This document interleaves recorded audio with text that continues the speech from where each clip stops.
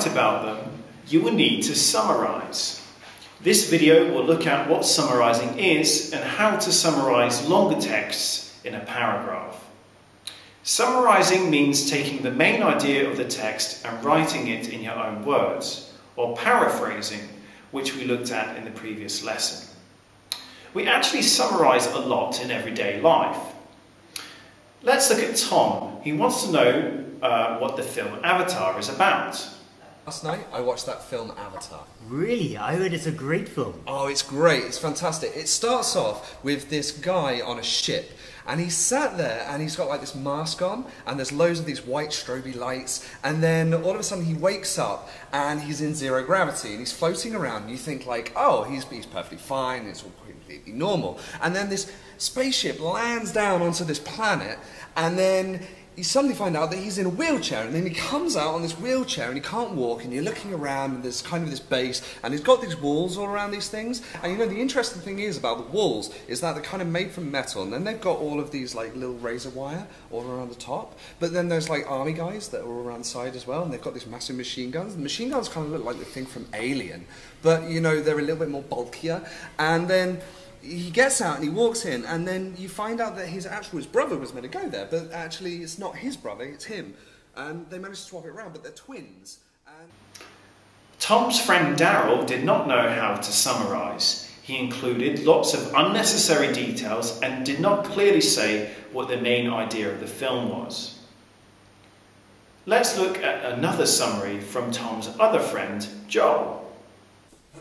Tom, hey man, how you doing? Oh, hey, Joel. Hey, how are you? going? Yeah, I'm good, thanks. I'm good. Yeah, good. Hey, uh, I saw this movie recently. Oh, yeah? Yeah, it was amazing. Avatar.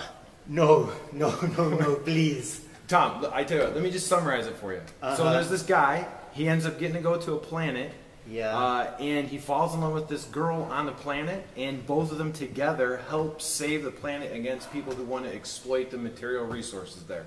It's unbelievable. Sounds great. Yeah, you should. I'm serious. You should watch it. Joel's summary is much better because he only talked about the main idea and did not include unnecessary details. If we are summarizing ideas from a paragraph or a short text, we can summarize the main idea in one to three sentences.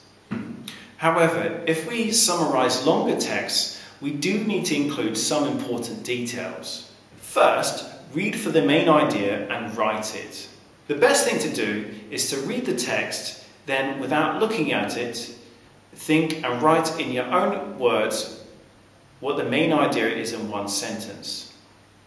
You should also state the title and the author.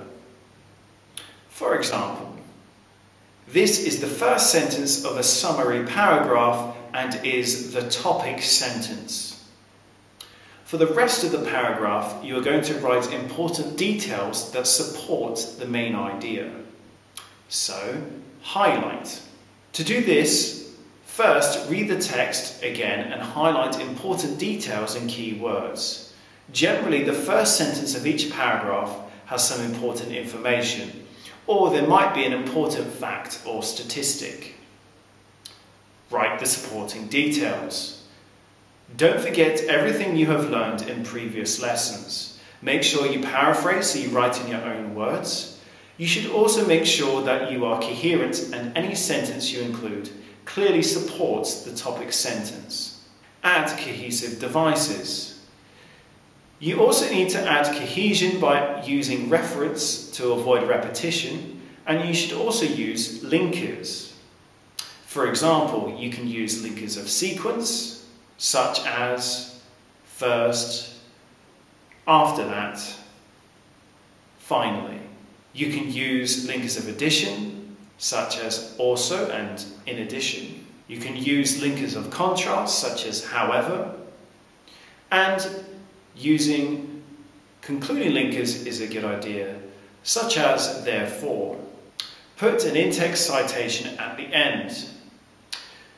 This should include parentheses with the author's surname and the year the article or book was published. After you do this, you should have a paragraph of about four to six sentences. So, to review, summarizing is writing the main idea in your own words without unnecessary details. Let's look at the example summary. First, there is a topic sentence with the main idea and the author and title. Then there are supporting details that support the topic sentence. There are reference and linkers to add cohesion, and there is an in-text citation at the end.